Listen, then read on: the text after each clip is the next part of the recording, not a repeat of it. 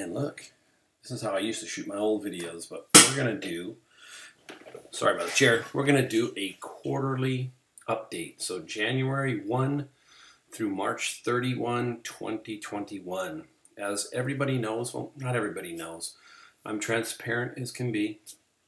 I'll show you my numbers I'm not afraid of that. Um, IRS is going to see them anyhow. Uh, gets reported so uh, I just want you to see them so that you can understand that you can do this, that you it, you know you can make money, and you can make good money at eBay. Now I want to give you a couple of disclaimers. First, I'm in a very wealthy area, which is the San Jose area of California, basically Silicon Valley. A lot of money here, so it's a lot different than everybody else so do not look at these numbers and say, hey, I'm in a rural area and you you know you can do this type of thing. I, I, I don't know. I don't know your situation or whatever where you're at. So it, it's difficult for me to uh, kind of relate to that. You have to remember I'm in such a very, very um, wealthy area and uh, I find a lot of very very good good items. We're going to show you some at the end, just to kind of show you some of the items that got me to these numbers over the past year, basically.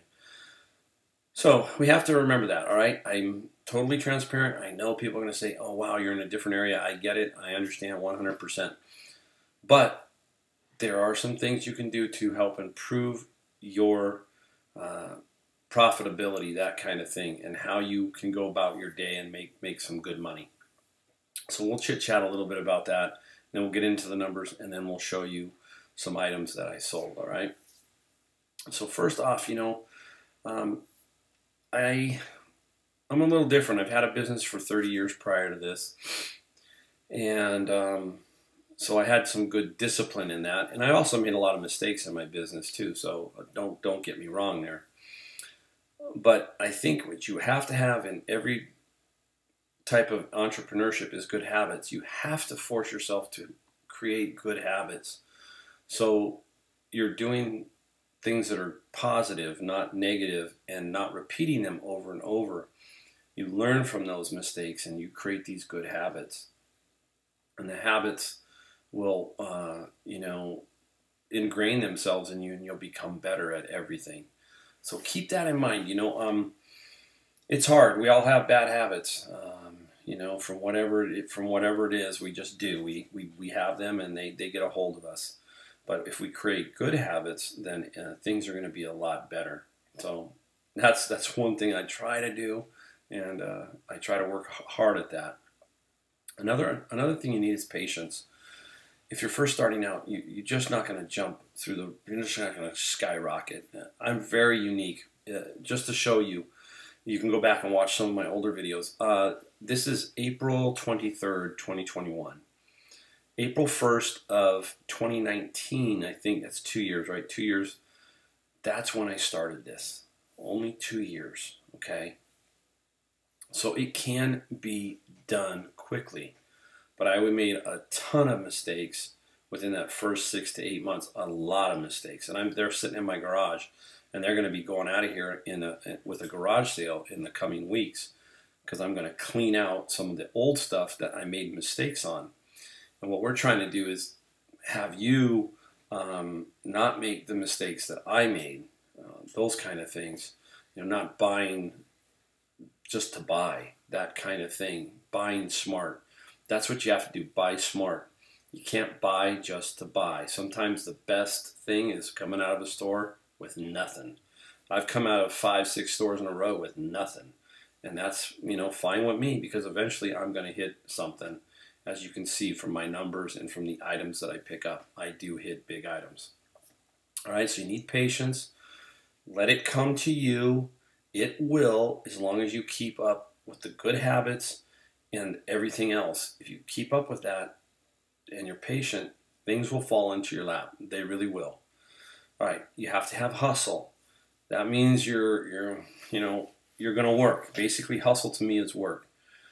Um, I, I am up in the morning at six o'clock, and I'm in bed probably at midnight every single night. So that's my routine, basically, six to midnight. Uh, I enjoy that. That gets me, you know, moving and motivated. So you're going to need some hustle. You're going to need some effort. You're going to need other things like that to make it really work. It, it just doesn't, you know, tumble into your hands like we like we people sometimes these these channels make it sound like you know you see it all the time do this and do this and you're gonna it doesn't work that way guys it doesn't you know don't fall for that stuff it requires work and it's just the way it is. So don't go for all the all the hype on the instant fortune fame whatever or money. It, it does, does does not happen. All right. Um, you need a great routine. And this is kind of weird but it is a routine. You have to have an everyday pattern of what you're trying to accomplish. Uh, how you're going to get from A to Z throughout the day. So, you know, like for me, I'll give you my I'll give you my Monday, Tuesday, Wednesday pattern. My Monday, Tuesday, Wednesday pattern. Monday, Tuesday, Wednesday morning from 9 to 11 is books. From 11 on is Savers, Goodwill, that kind of thing. Um, sometimes it gets switched up in the pattern after 11 o'clock, but it's still a very set pattern or routine. And if you keep with that routine, you're going to learn store patterns, what stores are doing what, when they put things out, and if the store is working that day. It's it's kind of weird, but you're going to get a feel for that that kind of thing. So if, like for example, if I show up at Savers at 11 and I just get the feel by talking to employees and, and you know I know employees and say, hey, how's things going? They say, ah, there's not much coming through. Well, that's an alert to say, hey, look, I'm not going to spend much time here. I'm going to go give myself a good looking on the store and then move from that store to the next store. I'm going to give myself the best chance at making money that day or finding that one item. So that's what I've got to do. I got to create this routine. I've got to understand how the stores work, how the the personnel works, what they when they bring carts out, when they don't bring carts out, when they stop bringing carts out, who brings out carts in the afternoon, who brings carts out in the morning. That's what you got to know. That's your routine. That increases your odds of getting the items that I'm going to show you in a minute and getting some good numbers. So really try to figure out your routine, stick to your routine, then just base off of that. So just kind of um, uh, keep that in mind. Keep working off of uh, off that routine, and you'll uh, uh you'll increase your odds. All right. Uh, next is networking. Networking is very important, especially nowadays. And what I mean by networking is Getting to know other pickers. Yes, you must know other pickers. You must know who they are, kind of know what they like. Uh, they may like clothing, they may like electronics, they may like glass, they may like whatever. Get to know them and let them know who you are because you will be amazed that if there's a guy who's in clothing and doesn't like electronics, he might alert you to something that you like, and you might alert him to something he likes so this networking also then starts to work its way around uh, when you start picking up phone numbers and so forth. They'll say, "Hey, Mike, I was over at this garage sale. They had this." And if you uh, ever saw my video with the hutch, where I got that uh, mid-century modern hutch for thirty dollars and flipped it for two thousand, that was a good friend picker who told me that was there. He didn't want to deal with it. I went over, looked at it, and picked it up, and I sold it for two thousand dollars. on Facebook Marketplace that's networking. You've got to kind of, you know, get out there and don't be afraid of, uh, don't be afraid of these uh, um, uh, pickers or other people. Let them know, you know, let them know what you do, what you like, that kind of thing. So don't be afraid of that. You'll be amazed at how many um, uh, items you pick up from from networking. Uh, I'm working on a pretty big one right now with a guy who uh, is uh, he empties estates out and stuff like that. And he's got a bunch of storage lockers, and I'm working on getting into those storage lockers and picking some stuff from him. He needs help, you know, getting this stuff out. and, and I'm there and I can help uh, help him with that. All right, what else we got? Okay, my number one rule is no death pile. I'm telling you right now, the death pile will do you in. You can see behind me, it's over here. Uh, that's something I'm putting on my house. That's a book, and then there's a few Amazons tucked right there. Otherwise, that's the only stuff that's in my house right now. If you look through my house, that's it. So everything as of today, I'll actually say everything as of tonight. I've I've taken pictures of probably about ten or twelve items already. Those ten will go up tonight. That's it. Tomorrow, Saturday, and I am completely free of anything as far as uh, having the list so I can go out and fresh pick and not have to worry about it. If I pick up 10 items tomorrow, I'll photograph them tomorrow and they'll be up the same night. If you watch me and you watch my videos, you'll see that my stuff comes up very quickly and it sells very quickly because I price it competitively. I want it to move. All right. So those are kind of some of the things that I think about as I'm out uh, doing my thing. Uh, hopefully, we'll do some other things and let you, you know, get a better idea, see how it works. I'm trying to shoot more video insides uh, some of these places so you can kind of get a feel for what's going on. But it's I'm still that's one area I need a lot of improvement on. All right, guys, let's get right into it. Let's go. Let's go and take a look at some numbers, huh? Let's look at some numbers. All right. First up, let's go get January through March of 2020. This is last year, so we have a comparison. All right, there we go. It's going to cover my head, but I think I can shrink it. All right, I think I, there we go. I'll, I'll cover it a little bit. My total sales for that three month period in 2020 were 30,418.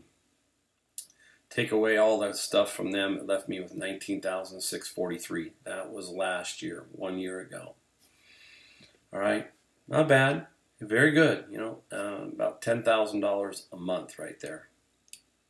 Whoops, let me make sure I don't screw this up.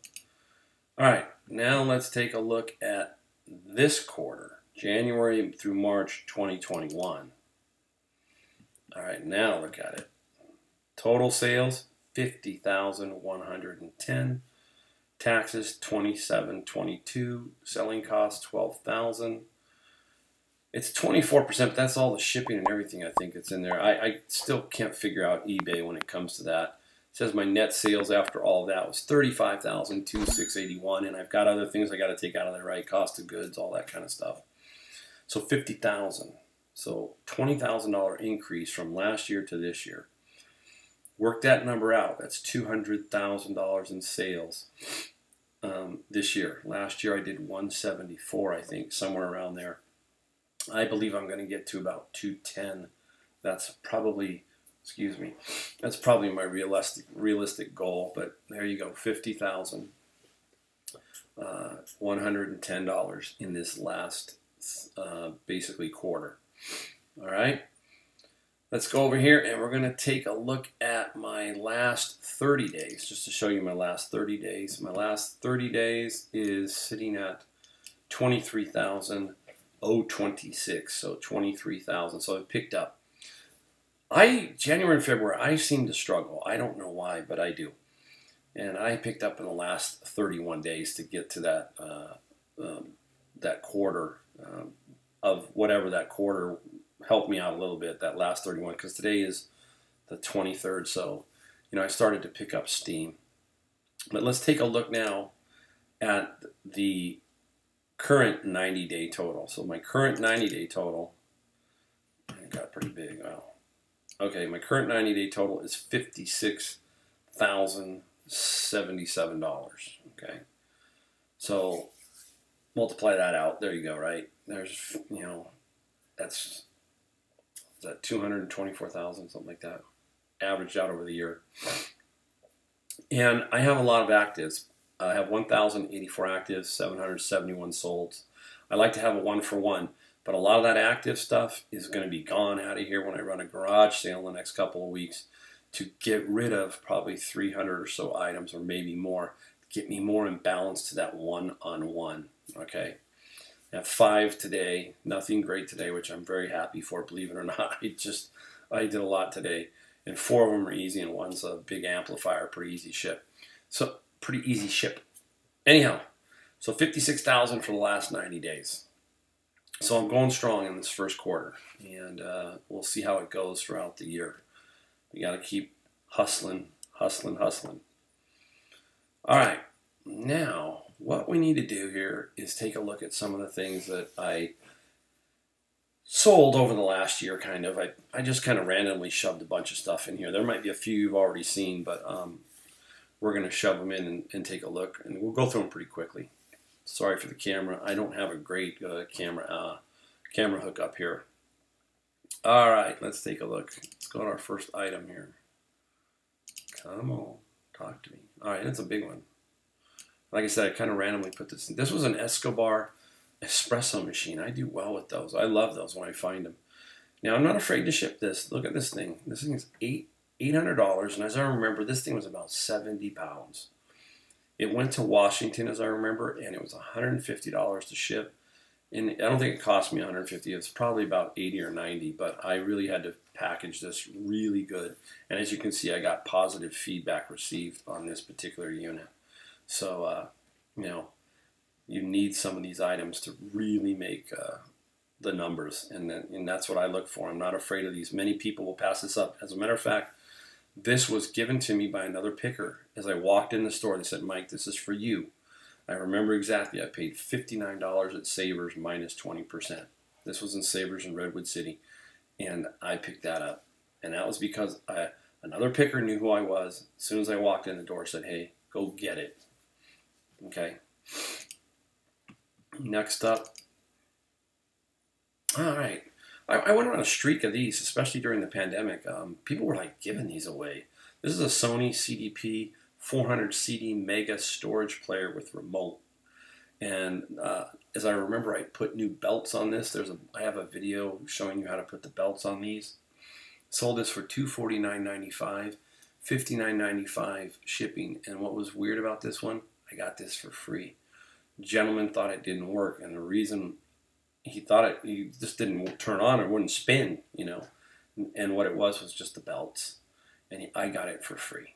So you know I, that was during the pandemic. All right, next up. Interesting, you know, I like some bobbleheads. Bobbleheads have taken a hit lately, it seems like, but this is the Texas Chainsaw Massacre Leatherface uh, Head Knockers bobblehead, and uh, I remember paying about six dollars for this uh, at Hope. I got three of them, and this one here sold for eighty dollars and ninety five cents, and buyer paid ten dollars shipping.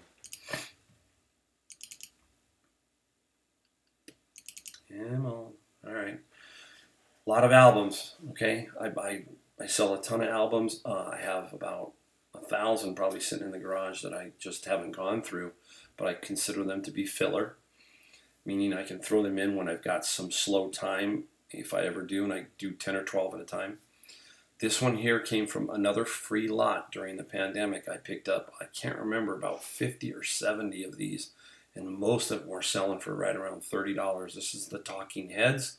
Stop Making Sense sold for $38.95. Albums, if you hit the vein, is they are very, very lucrative for what you pay for them, and they're so easy to ship. So keep looking for albums, especially rock and roll. It seems like the 70s do well, but the 80s and 90s, like the Talking Heads and some of these guys, they didn't make as many albums as they kept producing. They got to CDs, so vinyl wasn't as regular in the 80s and 90s as it, you know, what, you know what I'm saying, as CDs and stuff came out, so they made fewer and fewer, so they're scarcer. I'll tell you a secret. Every time you see that Ch- Tracy Chapman album, and it's in good shape, pick that thing up. For some reason, it always sells for anywhere from fifty to eighty dollars. The Tracy Chapman album, very good album. All right, maybe I can figure this out. All right, this one here is a uh, fairly recently. It was some toys that I purchased, and uh, boy, toys can be lucrative, uh, as you'll see, but uh, you have to really know that it's a very big category and very difficult. So I need some help. So I have a good friend who uh, who helps me out when I need some uh, help. Again, networking. He is a he, we call it. He's the toy man. And uh, if I see something, I'll shoot a picture and send it to him. He'll say, "Get that, grab that, whatever." Right? Help me out. That goes back to the networking. Um, don't be afraid of those building those relationships, you'll be amazed at how much it will help you out down the road. Oh, I love this one. I, I, this might be one of my all-time favorites. This one here. I love this. This is this is another album, but I got this at Savers, $1.99. Walt Disney The Haunted Mansion. And when I looked at it, I said, "Oh, this is good," because it was like mint. It was so in such good condition. Took me a little while to sell it. I had had it at 199. I took the offer, 179.96. $179.96 for the Haunted Mansion album.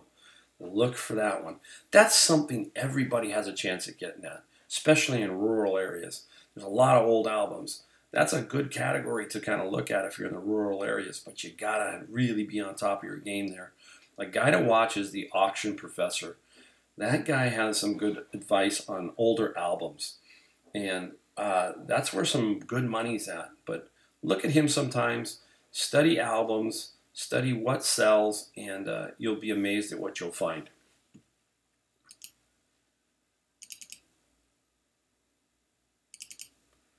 Come on. All right. Yeah, this is the Hot Wheels. You cannot go wrong with Hot Wheels, right, guys? Hot Wheels. Um, 2006 Hot Wheels Sizzlers. I picked this up at Goodwill's. I remember $10.98. Sold for 145 and 34.95 shipping. It had three cars. usually came with two.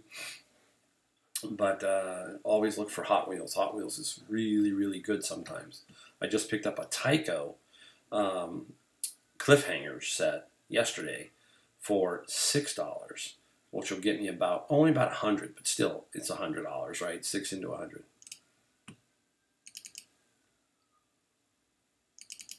All right.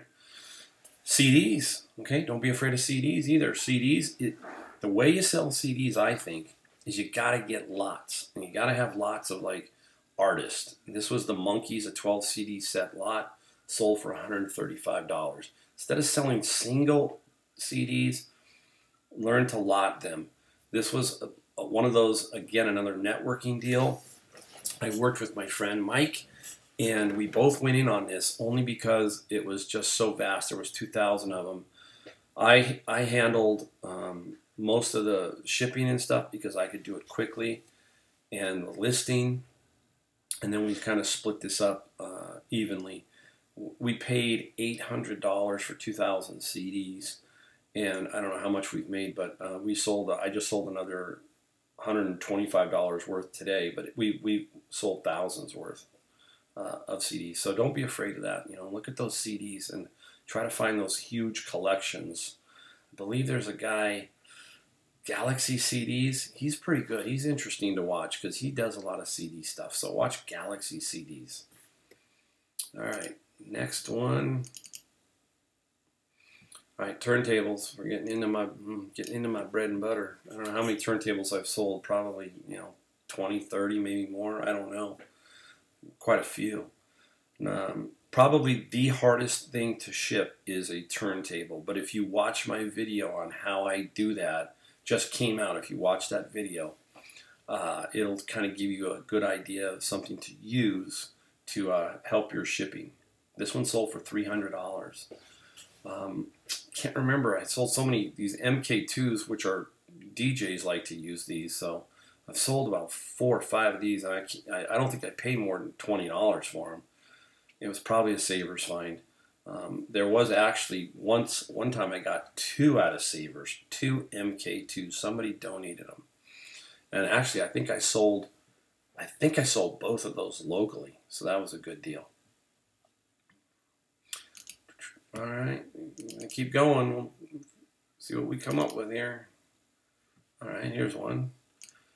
Figurines, you know, goes back to bobbleheads, that kind of stuff. This one here was a $10 item at Goodwill, and it sold for $225. Got positive feedback on that one, too.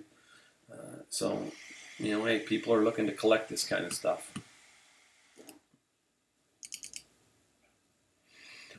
Tascam, right? Tascam multi-tracks. I've probably sold about four of these, various ones. This one here was 147.95. Pretty sure this was a Savers find of probably no more than 11, 12 dollars. Um, pretty easy to test as long as you have a cassette.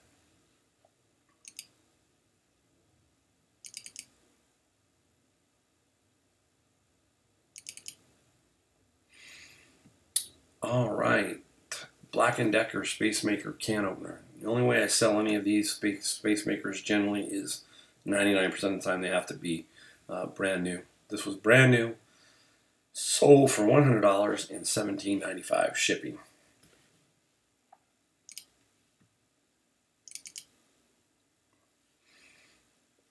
All right, you probably saw this one here. This was from my guy with the storage locker. This was a vintage Royal Quiet Deluxe Pink portable typewriter, $360, $49.95. This one went to Australia. She gave me a real glowing feedback on this one. She just loved it. You can imagine she probably paid over $500, $600 with all the duties and shipping to Australia. Um, again, don't be afraid of global shipping. It's tricky. Sometimes you really are thinking, I shouldn't do it, I shouldn't do it, I shouldn't do it. Many times I've kind of wanted not to do it, but I, I still do it. And this is why. Occasionally you get something like this, and she paid top dollar for it.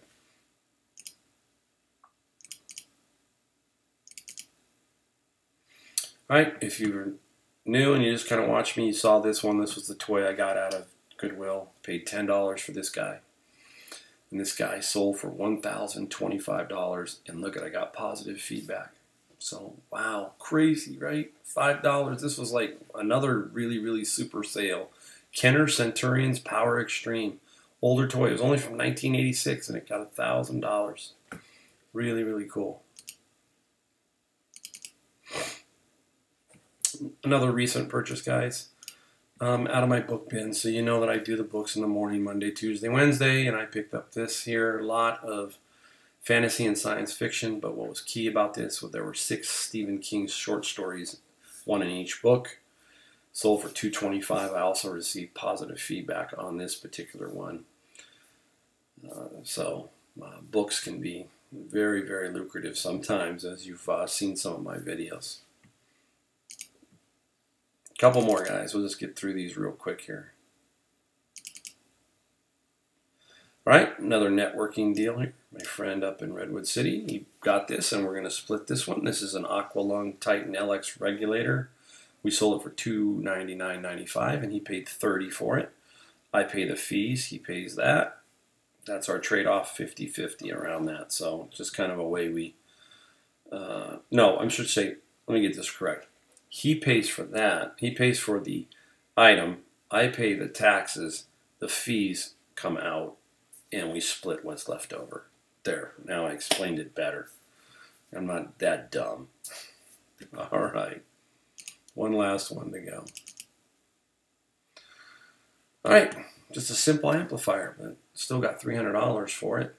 And as I remember, I paid $19 at uh, Savers. Buyer pays $49.95. That I will leave you with. That's the item I'm shipping tonight. And uh, it shouldn't be too bad. So that's the one big item I have tonight, a $300 item. So, all right, guys, let me close this out here. Boom, boom. Thanks for watching. Uh, hopefully you learned something, take something from everybody on YouTube, put it up here, go out in the world, make money, meet people, enjoy people. Um, as you can see, some of my videos are a little bit chatty. That's just me. Anyhow, we will see you next time, and thanks again for watching.